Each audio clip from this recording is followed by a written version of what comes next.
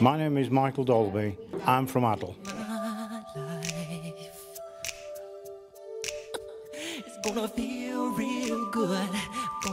I have a weight problem because I've been a rep for 28 years, getting up in the morning, sitting at a desk, going out in a car, coming back, working at home, and then having something to eat and not wanting to move.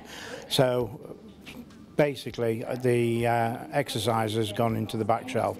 My overall goal is to get my weight down by quite a bit, feel better in myself and hopefully live a longer life.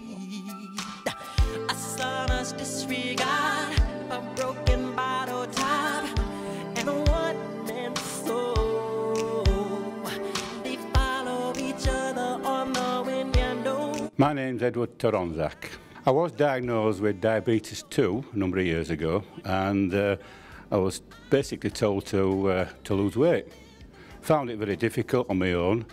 Uh, I did sort of, uh, being a Leeds Rhino uh, fan, I did see on the website that they were doing a, a tri club, which I thought I'd try out. If you wanna make the world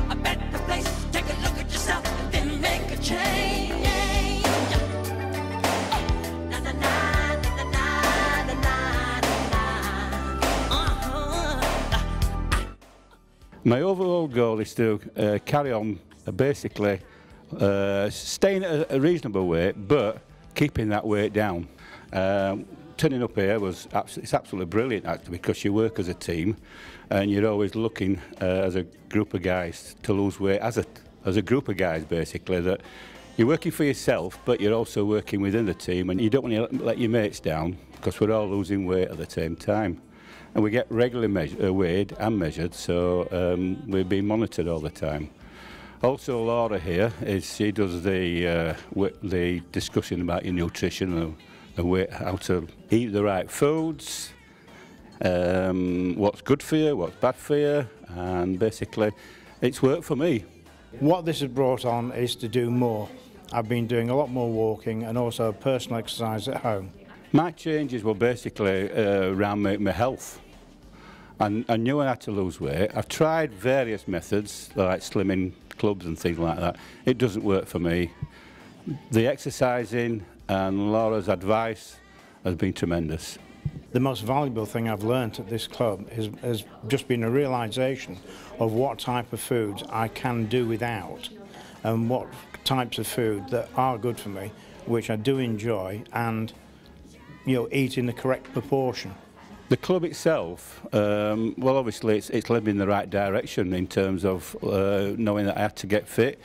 And the age I am, I know I have to lose weight, basically to be able to keep up with my grandkids, because they're an energetic group. Uh, they want me to be involved playing sports with them. I'm 67 and I'm still doing it. Uh, I'm recovering from a broken collarbone and six broken ribs. And uh, when I first told my doctor that I was coming on the course, she sort of looked at me dubiously and said, if you think you can do it, do it. But it has really pushed me on to the point where just this week I've been given the word that I no longer have to go to physio because I've come on leaps and bounds. And the, the uh, record for the um, physio was going to be for another two months.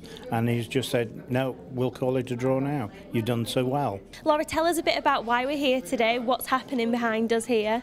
So we run a 12-week weight management program called Try Club, and the aim is that it's avoiding gimmicky, faddy diets. It's long-term changes that are achievable, um, rather than going on quick fix sort of diets doing a little bit about nutrition and a little bit about exercise and hopefully it'll make long lasting changes.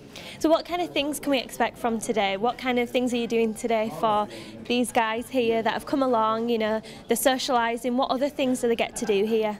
So each week consists of a different element, a different nutritional topic. So we spend 45 minutes having a discussion. It's a bit of an education element. So today we're talking about energy density and what calories mean and how they're not something to be scared of and how to understand food labelling as well because it can be quite confusing. And then the second half of the programme is another 45 minute element and we do a physical activity circuit. It's usually based around a circuit. So Adam Lunn will help with that one. He leads our physical activity um, programme. Uh, it's often based around boxercise or a simple basic circuit that the guys can be using at home to keep up those changes. So have you seen any improvements? Yeah, massively. I mean, we're a weight management program. A lot of the um, results come from their weight, but also confidence is a big thing. That the guys are coming down each week, forming really strong relationships and friendships between themselves. Uh, but also there's a medical element as well. A lot of people come with medical ailments, and there are a couple of stories of it within the group of how they're alleviated or helped through just doing the program, a bit more physical activity and losing a bit of weight. So who is the programme aimed at? It's aimed at it's a male only session uh, for anyone with a BMI over 25 and if you don't know what your BMI is it's not a problem at all it's for anyone that wants to lose weight in Leeds that's male that's over the age of 18 everyone is welcome For those out there at home that want to get involved and come along to the Try Club that didn't know about it before, because I wasn't sure about it before, it's really new to me and I think it's a fantastic programme. So how can people out there get involved? So it's a free 12 week weight management program, and all you need to do is go onto our website, find the Try Club section, and just register your details on there, or alternatively, get in touch with me uh, on my email address, on my mobile, and all the details are online. It's really easy. Just get in touch with me, and you can register your interest for the next lot of programs. Brilliant, well good luck with today and we can't wait to see what, what comes about. Thank you. So far, I've lost weight every week. It's only been a pound or so, but I've never been able to do that before. I am feeling better and stronger. The best part of, being a part of the Try Club, being a fan, is being part of the club.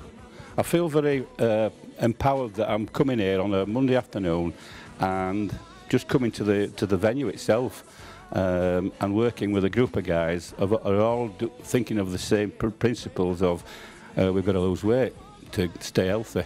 I'll take a lot away from the club, not only the information on the food values, but also the friendship I've gained from coming to the club, both from the staff and the people that are participating.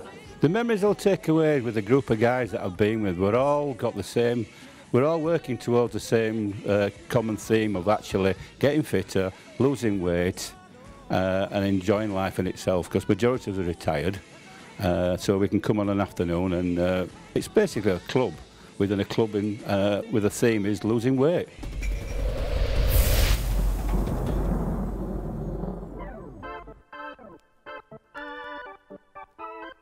I'd go for flying. I go for flying uh, just so you can get around everywhere. So you can get around everywhere and get to places quicker than you can when you're on foot or, or in a car. So yeah, just flying. I think I'd go more into the direction of Hulk.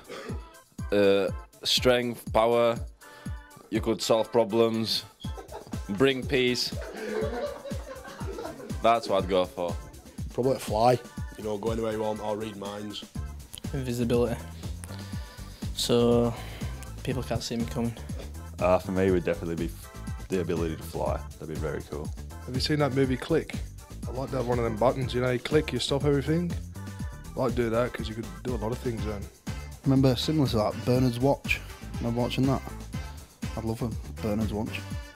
Absolutely to flying, but I'd love to fly anyway, so I'd probably have to say flying.